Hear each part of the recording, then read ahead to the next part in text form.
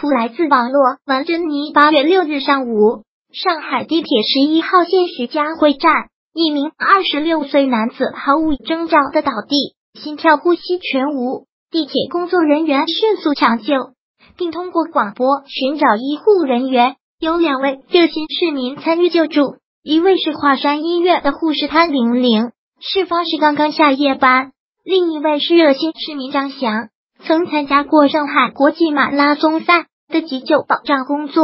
两位有爱心的人轮流对不省人事的男子做心肺复苏。幺二零赶到现场后，迅速展开电击除颤，随后男子心跳逐渐恢复，被送往医院。不幸的是。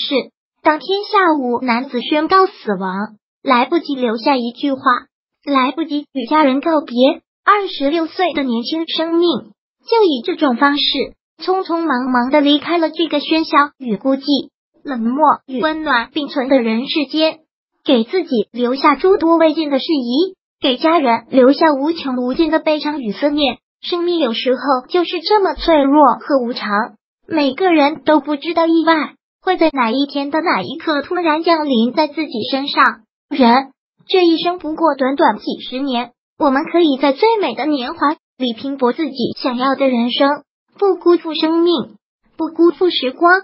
但是生命不止努力拼搏和奋斗，还要学会珍惜和享受生命，学会善待自己，就是珍惜生命。只有会生活，才能享受生命。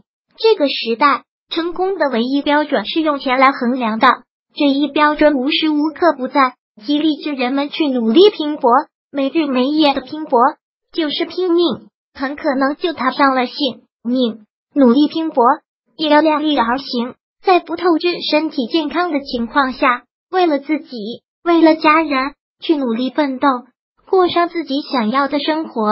一个成年人要学会对自己负责，在善待自己。珍惜生命的同时，成就自己，才有可能担起更多的责任，才有可能对家人负责。大千世界，茫茫人海，每个人的存在与消失都是那么微不足道，但是对于爱自己的家人，却是举足轻重、无可替代的。珍惜自己的生命，也就是珍惜自己的家庭。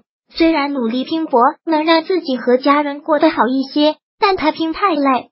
就失去了活着的意义。活着不只有赚足够多的钱这一种成功模式，健康快乐的活着，拥有幸福温暖的家，不也是一种成功吗？把生活过得有滋有味，健康快乐的度过每一天，并不一定需要很多钱。或者说，会生活的人不在于钱多钱少，不懂得活着的真正意义，再多的钱也买不来温暖幸福。的家和健康快乐的生活，内心的平和、知足常乐的心态，与家人其乐融融的氛围，健康快乐的活着，是每一个普通人都能享受到的普普通通的生活状态。比起拼尽全力去挣钱，忽视了家庭，忽视了健康，忽视了陪伴家人，挣钱的意义何在？人活一世，健康快乐的活着，永远是活着的基本意义。否则，其他一切都毫无意义。